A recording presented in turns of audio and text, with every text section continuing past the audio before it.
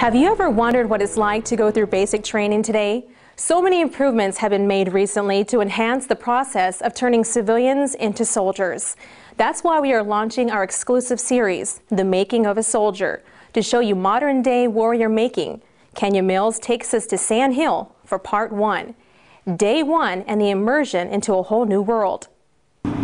Let's go, guys. Get your freaking bag and let's freaking move. We ain't got all day. You have a cell phone, iPod, put them away now. Tuck in your shirt inside of your pants. You would throw all your food items away. You would get rid of all items that is prohibited while you're in training. You refer to me as drill sergeant. Not drill sergeant, sir. Not sir, drill sergeant. Not even sir. Do you understand me? Yes! And that's how the adventure begins. These men enlisted in the U.S. Army, and today they arrive at Fort Benning, Georgia. Let's go. This is not basic training yet. It's the 30th AG Reception Battalion. Put the stuff in the bag and then go. It's like going to a very busy airport for the first time because you're trying to find where you're supposed to be going. You're standing in line, you're confused, you don't know what's where. Did you get a lunger bag? It's here at reception where the process of turning civilians into soldiers begins with a series of instructions for every given task. Put everything inside that duffel bag. More army, please. From taking an official photo. One, two, and three. PC off, please. No smile, okay? To creating One, an ID two. card. Okay, I'd like for you to place your right index finger here for me, please. Ball you put on the floor, raise your heel up. To trying on new boots. Heel loose or snug. So have a seat sideways, just like these other soldiers are sitting, and inventory your stuff. You have to follow instructions because there's so many people that come through here all the time. And so you just have to move, move, move, move. And sometimes half the crew do, do not know what they're supposed to be doing because there's so many things going on at one time, you get confused real easy. It happens in a rapid motion until it's time to eat. Then it seems like the line never moves. Right, move up, move For some, waiting in endless lines is a lesson in patience. I was expecting to get in, get all my stuff, and go straight to basic and start working.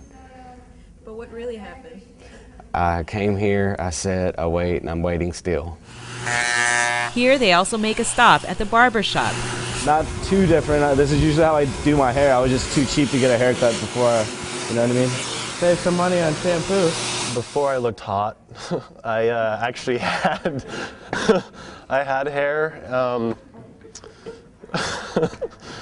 I had hair. Um, I looked good, and now all of a sudden I have no hair and glasses. So uh, it's uh, definitely a change. One, two, about the same. Speaking of glasses, it's at reception where recruits get a prescription for BCGs, which stands for The, the troops call them birth control glasses. They're not real fashionable like that. I definitely cannot wait for those, and apparently they're indestructible, so I can step on them, not have to worry.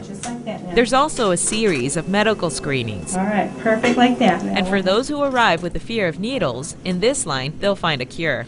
I've been to the doctor very seldom, and other than that, I've not had this many shots. And within five days, I've got like six shots. Let's go, let's go. Cover down, cover down, cover down. There's even a formation and procedure for buying hygiene products and other supplies. Yes, sir. You need to get toothpaste, dental floss, toothbrush, shampoo. That was actually kind of strange because we had to all stand in line and then we had to be ordered what we were allowed to buy and what we were allowed not to buy. Everybody turn around. Yeah, I feel babied. Like I can't do anything. Like I just feel like these are my parents telling me what to do. Razors, socks, baby wipes. A lot of the time they got you on the run, so you don't really have time to do what you got to do in the latrine, like shower and everything. So uh, baby wipes just gives you a nice quick cleanup, and then you can keep it moving from there. But despite the endless lines and demands, they can all agree they have each other to get through it all. Uh, yes, it is a lot of instruction.